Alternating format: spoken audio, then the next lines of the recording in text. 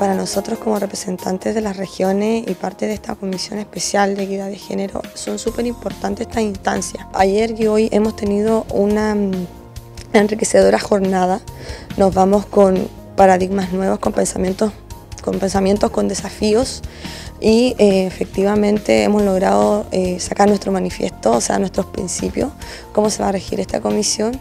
Uno de los principales y de los más importantes es paridad, ¿cierto? Eh, siempre hemos sido criticadas porque eh, esta comisión es solamente de mujeres, algo que desde ya desmiento nunca ha sido el paradigma de esa manera, al contrario, siempre hemos tratado de invitar a participar todo tipo de género, pero esta comisión es una comisión de bomberos de Chile y para bomberos de Chile.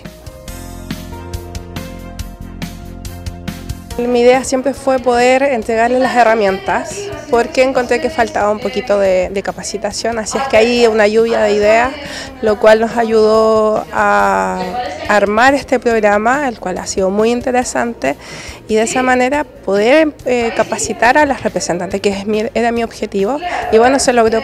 Y de esa manera ellas pueden entregar con esas herramientas las capacitaciones necesarias. El mensaje que quiero mandar a Chile es que justamente se necesita equidad, se ha invitado a través de los presidentes regionales a hombres y no hemos tenido un buen resultado.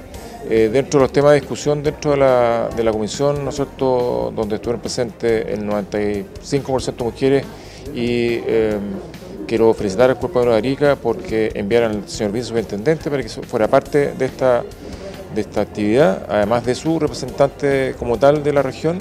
Eh, pero falta más hombres. Yo quiero enviarle un mensaje a cada uno de los presidentes, a los superintendentes que participen de esta comisión, porque no es una comisión de mujeres, sino una comisión de equidad.